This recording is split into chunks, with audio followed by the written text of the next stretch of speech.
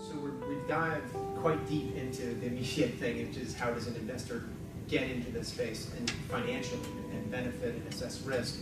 Uh, I want to back up just a second and we'll just run through this very quickly. And again, these are going to be available to you all. But the basic toolkit for anybody and anybody that needs to know about this stuff or care about this is this is the sort of laundry list of basic things that you need in order to do a solar project. Let's roll to the slide next.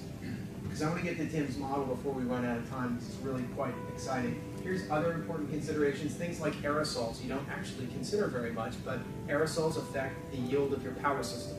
Okay, so if you're building in Los Angeles Basin, the yield rate is going to be much different than Pleasanton just because of the, the inversion. And there's more aerosols in the air, and so there's less direct irradiance, and it affects your yield benefit. So you always have to do microclimate analysis, site analysis. It's really important to do site visits. Um, you know, your O&M, which Ty mentioned before, this thing has to work for 20 years in order for you to make your hurdle rate. So you have to really look at warranties on the products you're putting in the field. You have to really look at your service contracts for people to go out and squeegee the modules every X number of months or years in order to continue to get your yield benefit. Electricity is your rental income that you put on your real estate hat.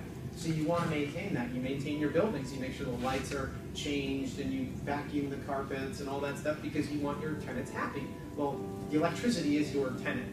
And so you need to make it happy by squeegeeing the modules and making sure everything works in the field. Okay? So let's go to the next.